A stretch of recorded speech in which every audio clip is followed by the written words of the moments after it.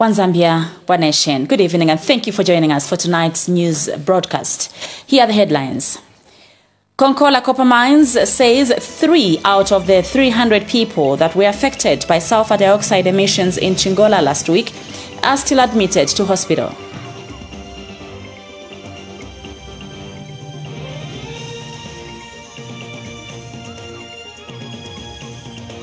The Zambia Police Service has launched a special operation aimed at curbing escalating criminal activities in Kitwe.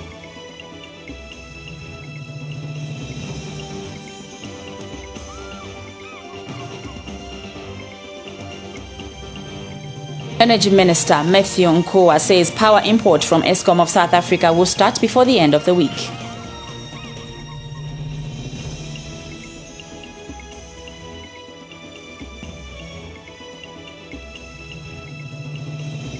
And Zambia national football team interim coach Aggrey Chiyangi says the inclusion of Patson Daka and Enoch Mwepu will strengthen the team.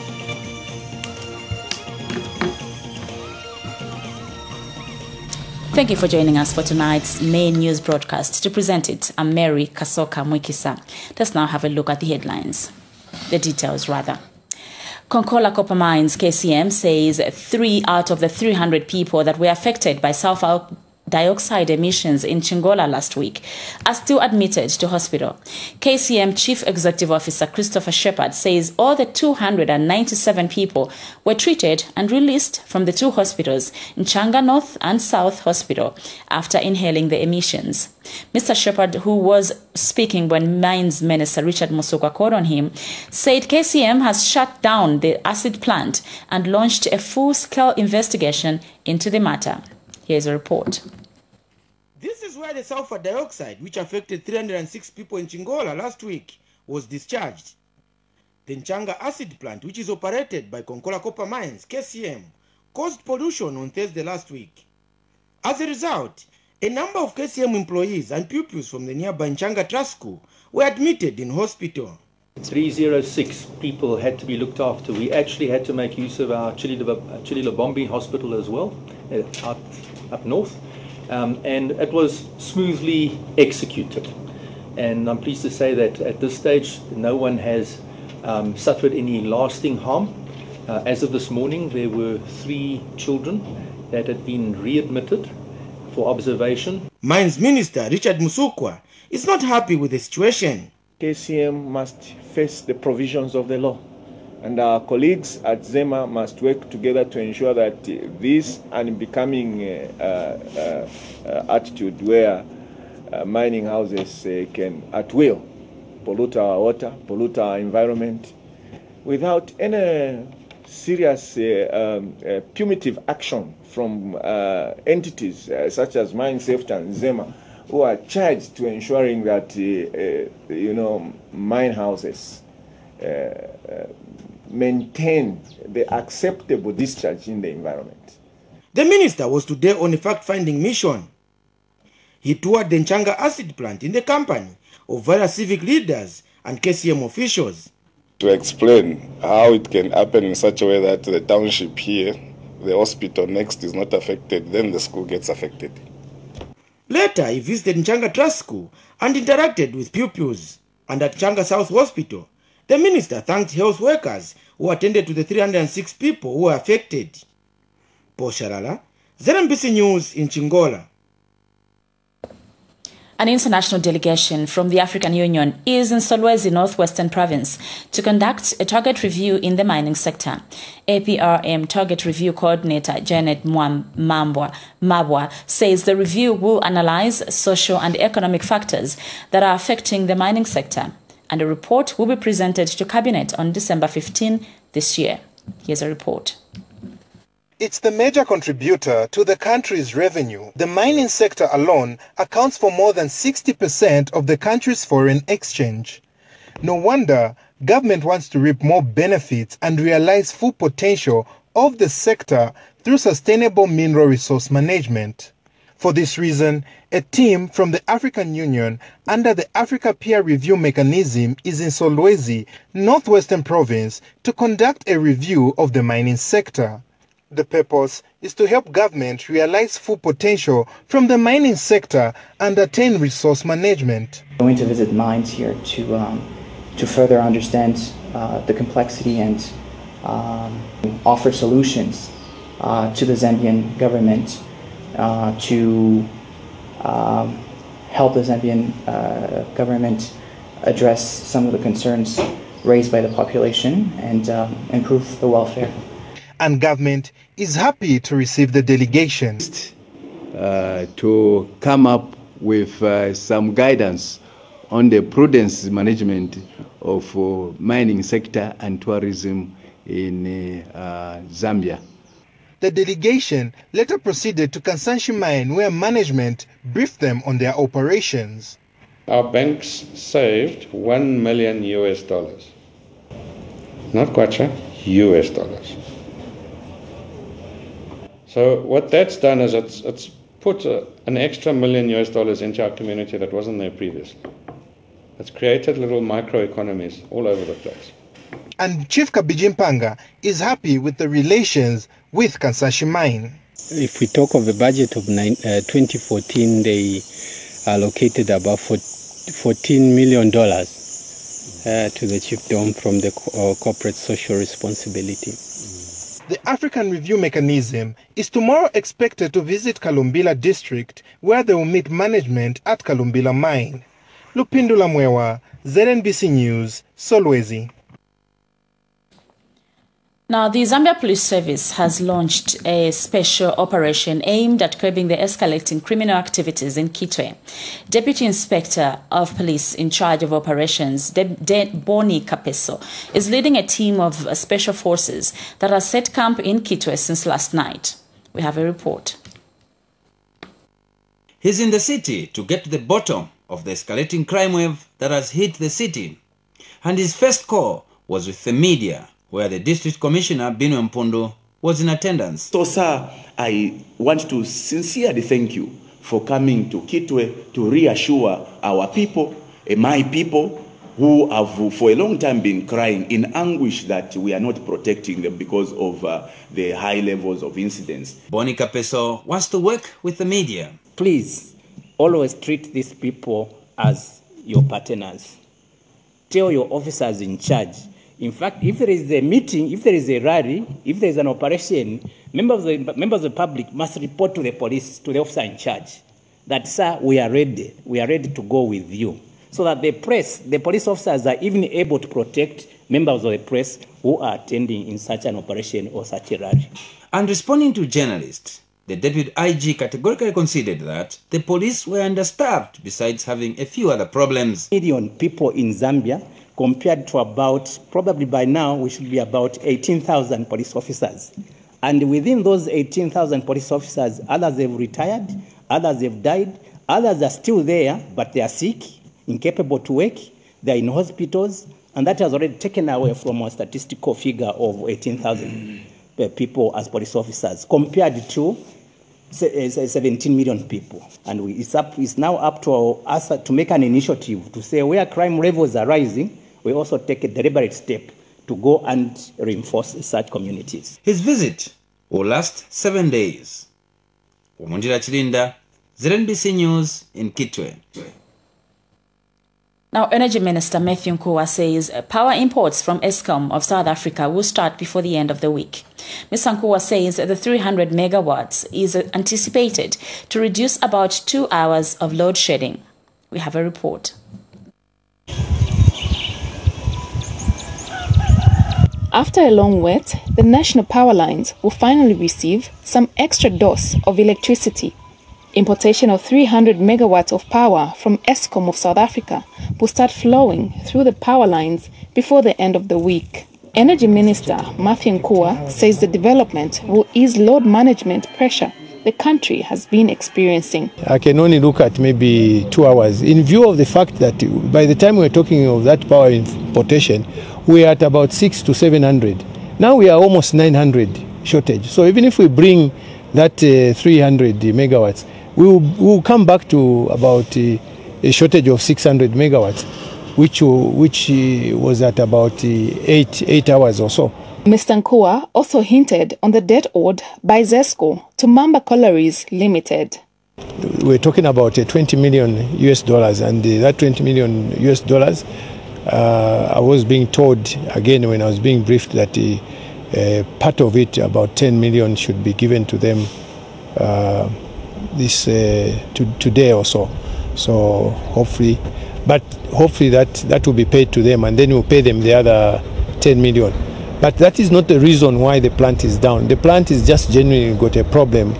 It's, it's uh, the the tubes for the for the boilers which are, are damaged. They were leaking. Meanwhile, Mr. Nkhuwa toured Lusaka Fuel Depot to check on operations after the protest by truck drivers last week. For the situation is normal, people shouldn't be alarmed, and uh, I must say that I'm grateful to to the drivers uh, of these trucks who have uh, shown respect to the government by heeding so that whatever grievances they have, we can sit down and discuss with them.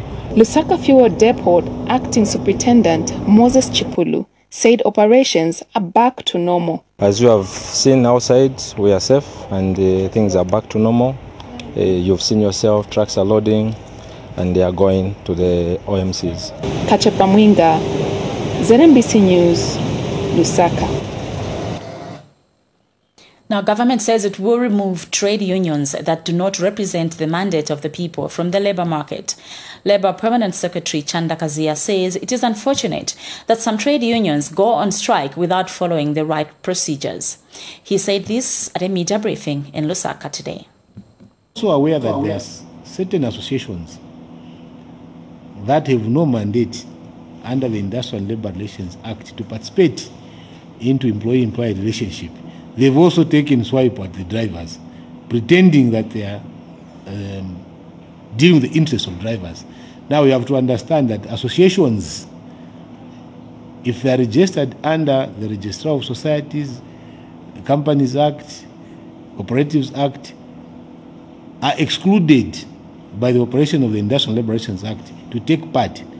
But if they want to formalize themselves, they can still come to the Ministry of Labour, register themselves. So they're guided, they have their constitution, they have their executive, we're able to know the source of financing that they're having, and then you know, they can participate.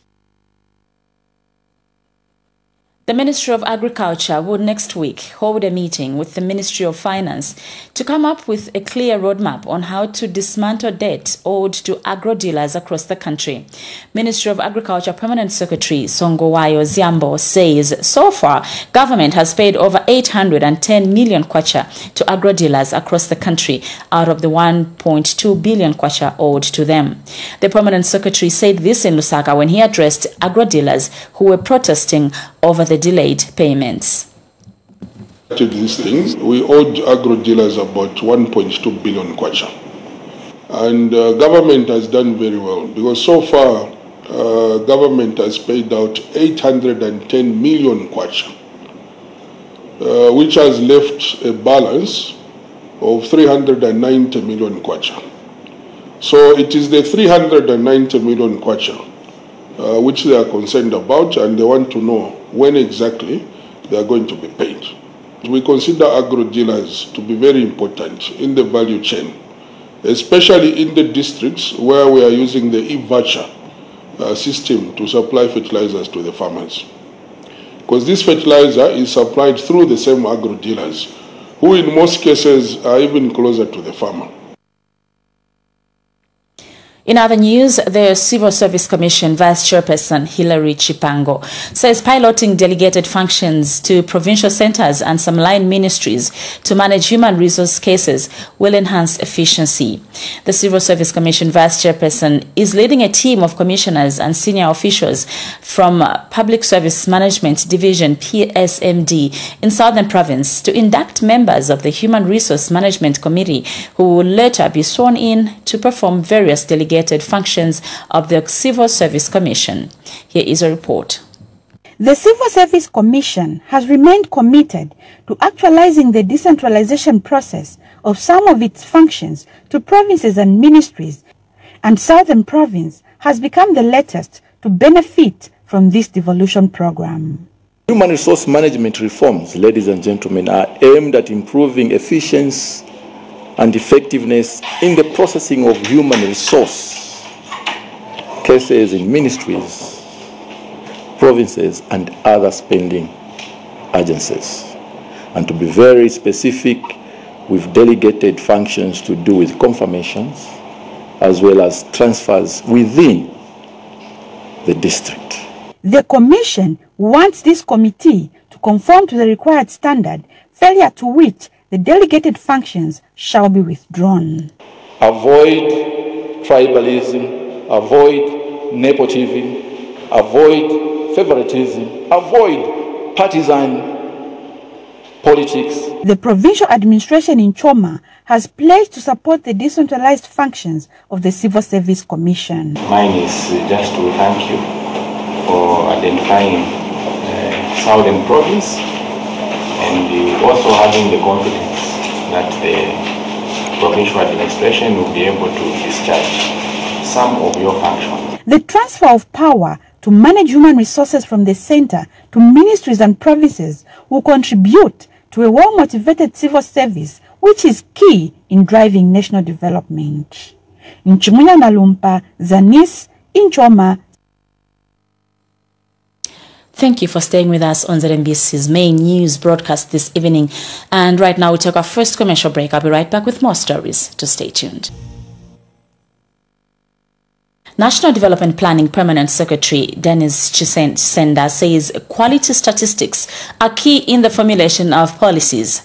Speaking during the launch of the 2019 African Statistics Week, Mr. Chisenda said the data collected is also used in formulating policies that protect the rights of people seeking refuge in other countries. During the same event, Mr. Chisenda also availed the logo for the Zambia Statistics Agency, formerly known as the Central Statistical Office.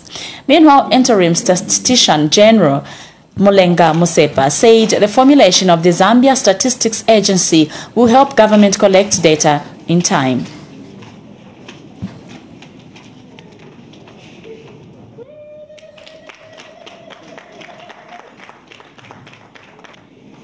Logo for the Zambia statistics. Since the year 2019, or rather, uh, since the year 1990, the African Statistics Day is celebrated every year to increase public awareness of the important role statistics plays in all aspects of social and economic life in Africa. This day provides the opportunity for each country to evaluate its achievements in measuring the improvement of the well-being of its people, as well as monitoring the national, regional, and global development goals. Uh, this act basically provides for the development of an integrated and coordinated national statistical system. Invited guests, ladies and gentlemen, today's event and activities of the next two days reflect the new path we are taking in the development of the country's national statistical system. From tomorrow to Wednesday this week, your National Statistical Office has partnered with other statistical agencies to showcase various statistical programs. The Green Climate Fund, GCF, has agreed in principle to provide an additional 75 million US dollars to combat climate change in Zambia. Ministry of National Development Planning Permanent Secretary Chola Chabala disclosed this when he called on Zambia's ambassador to South Korea, Wilbur Simusa. Mr. Chabala says the funding will go towards implementing climate change adaptation and mitigation programs in Zambia. And Mr. Simusa expressed optimism that Zambia stands to benefit more from the Green Climate Fund resources, which every country is thriving to have access. He said Zambia is ranked highly in Africa, only second to Egypt in resource accessibility and quality of proposals sub- submitted to the GCF. This is according to a statement released to ZNBC News by Ministry of National Development Planning spokesperson Chibaula Silwamba. Now, the Common Market for Eastern and Southern Africa, COMESA Secretary General Chileshe Kapwepwe, says digitizing trade facilitation instruments is estimated to create new trade worth 12.3 billion US dollars annually. Ms. Kapwepwe says technical work on launching a digital certificate of origin and regional trade portal is now completed. She was speaking during a media briefing in Lusaka on COMESA 25th anniversary and the 40th policy organs meeting in Lusaka today. Every celebration must have a purpose. For us in COMESA, we're celebrating the positive impacts that our programs have had on the lives of the people in our region since the organization was established. One of our main achievements in comparison with other economic communities is the increase in geographical size. COMESA constitutes a third of Africa and has consistent, consistently been attracting new membership. Over the years, it has outgrown the Eastern and Southern Africa region and now covers a large part of Northern and Central Africa as well. Going forward would be to really to, to support intra-COMESA trade, to grow the trade uh, amongst our member states. And one of the major uh, objectives to do that is trade facilitation. We take our second break, and coming up after that, we have some foreign and sports news. To stay tuned. Welcome back. You're watching ZNBC News. Now, the Road Development Agency, RDA, has embarked on improving the conditions of bridges and road infrastructure across the country. RDA Director and Chief Executive Officer, Engineer Elias Mwape, disclosed that the agency will partner with the American corporation Acrow in implementing some of the projects which will improve the transport network in the country. He was speaking during a training workshop for the local contractors by Acrow Corporation in Lusaka. Meanwhile, Acrow President for International Business Bridges USA, Paul Sullivan, has committed to share knowledge with local engineers so as to see quality in the bridges being installed across the country. The government of the Republic of Zambia, through the Road Development Agency, is implementing various programs and projects. Among them is the Acrow Bridge project, which will see some bridges in poor condition being replaced and the new ones being built. The Rural Connectivity Project, which will see the replacement and construction of new culverts. Routine maintenance of bridges, which will see the repair of some bridges in all the provinces. And various bridge repair projects which are ongoing in various provinces. Zambia's defense and security institutions have continued to engage with their neighbors on peace and security issues through the Joint Permanent Commissions. The 14th session of the Malawi Zambia Joint Permanent Commission on Defense and Security is underway in Blantyre, Malawi. Here's a report. The 14th session of the Malawi Zambia Joint Permanent Commission on Defense and Security, JPC, officials meeting has opened in Blantyre, Malawi. Secretary in the Ministry of Defense Malawi, Bright Kumwembe, who is also chairperson of the 14th session, says JPC presents an opportunity for the two countries to renew commitment towards the enhancement of friendly relations between Malawi and Zambia while keeping the two nations safe. As we all know, Malawi and Zambia continue to enjoy cordial relations socially, economically, and politically. These relations have helped to uplift the living standards among the citizens of both countries. And speaking at the same function, Zambia's permanent secretary in the Ministry of Home Affairs, Dr. Chileshe Mulenga, acknowledged the historic relations which dates back to the liberation struggle. I also wish to acknowledge the historical relationship between Zambia and Malawi, which dates back to the liberation struggles for the Southern African region. You agree with me that these relations have mainly been due to, to the efforts of our defense and security personnel to ensure peace and stability along the common border and in the two countries.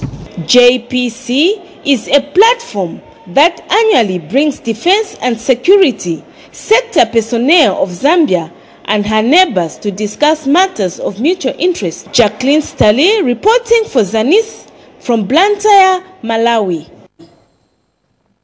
In foreign news, British lawmaker Peter Hain says several international banks enabled corruption in South Africa under former President Jacob Zuma. The BBC reports that at an inquiry hearing, Lord Hain said HSBC, Standard Chartered, and India's Bank of Baroda were directly culpable. The inquiry is investigating claims of graft against Mr. Zuma and the Gupta family. They deny any wrongdoing. HSBC said it supported the inquiry, while Standard Chartered said there was no evidence linking it to the Guptas. No one from the Bank of Baroda was immediately available for a comment. Speaking in Johannesburg, Lord Hain alleged that the banks were helping the Guptas to hide the source of their illicit gains through a network of banks' accounts and shell companies. While you're watching the news on ZNBC TV, we take our third and final break. We'll be right back on the other side. Another segment in detail. Now, the Zambia national football team interim coach Aggrey Chiyangi says the inclusion of Patson Daka and Enoch Mwepu will strengthen the team in tomorrow's Group H 2021 AFCON qualifier against Zimbabwe.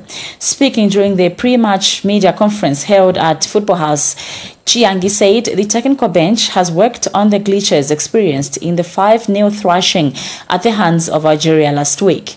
And Zimbabwe coach Joey Antipas said the team heads into the game with a calculated approach because Zambia is wounded following their defeat to Algeria in the first game. Meanwhile, Chipolopolo captain Kabaso Chongo said the team will work together to beat Zimbabwe. And Zimbabwe captain Alex Mudimu said players want to win against Zambia so that they can get back into the race. back and the, the times that we've had training sessions, everyone looks very, very positive. And we believe by the, time we finish our session play this afternoon, everyone will be ready to play tomorrow. The game has got its own pressures. Uh, the only thing is that uh, we just have to know how to handle the pressure. Because if you don't handle pressure, then the pressure will swallow you, and that is what we don't want. We know that there will be a lot of pressure, especially from the fans, whenever Zambia and some play, uh, it's always uh, closely contested affair. So what we know is that we've come here uh, for a battle. Not be easy at all. Meanwhile, ZNBC will tomorrow televise the Zambia-Zimbabwe match. ZNBC Corporate Affairs Manager Yvette Chanda says the game will be televised on ZNBC TV1 at 18 hours. Mrs. Chanda confirmed this to ZNBC News this afternoon. Now, Exodus Boxing Academy boxer Simon Ngoma says he is ready to bring the World Boxing Lightweight Intercontinental Championship title when he takes on Sadiq Momba of Tanzania. Ngoma, who recently turned professional, has been in camp since last week and is confident of victory. Wilson Mlinda reports. He showcases his skill as he prepares for his next fight against the Tanzanian boxer.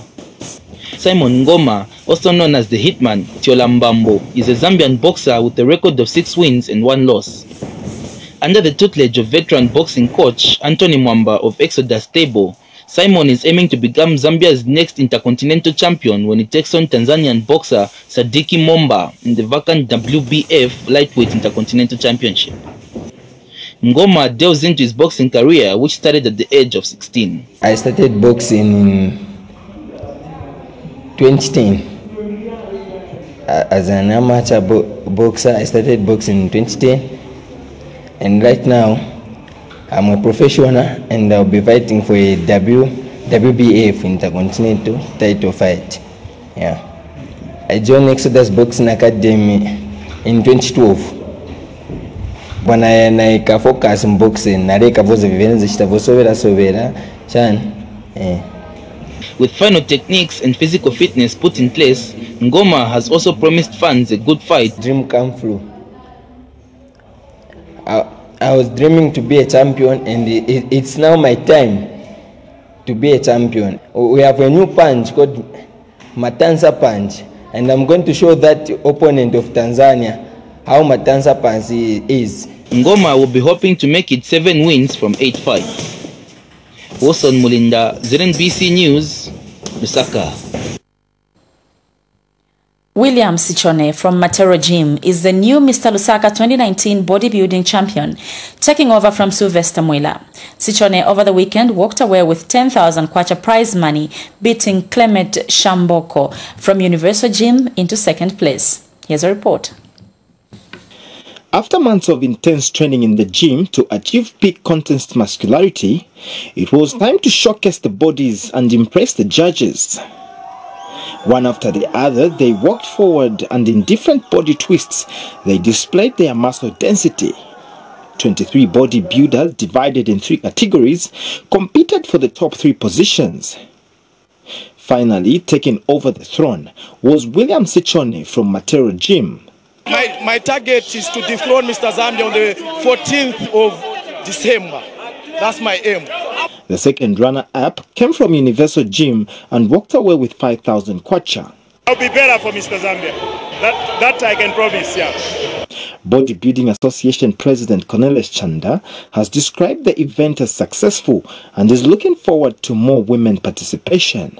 For us to introduce in women uh, category, women's physique, you saw it, men's physique, it was uh, something colorful, it was something successful, something amazing. Lilayi Ward for Councillor Muhammad Mutete represented the guest of honor, Lusaka Mayor Mau Sampa.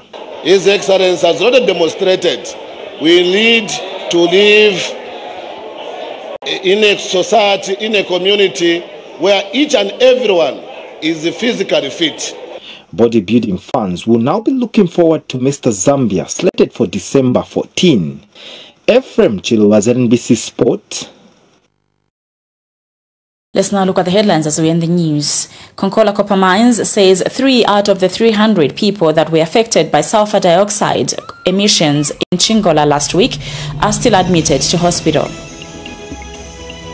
The Zambia Police Service has launched a special operation aimed at curbing escalating criminal activities in Kitwe.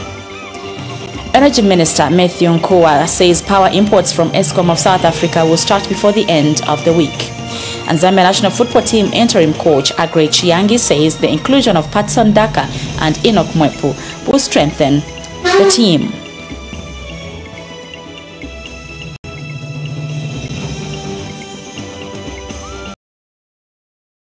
Well, that's the end of the news. I'll be back again for more news at 22 hours on this same channel. Thank you so much for your time. Let's remember that we are and will always be one Zambia, one nation. We'll see you at 22.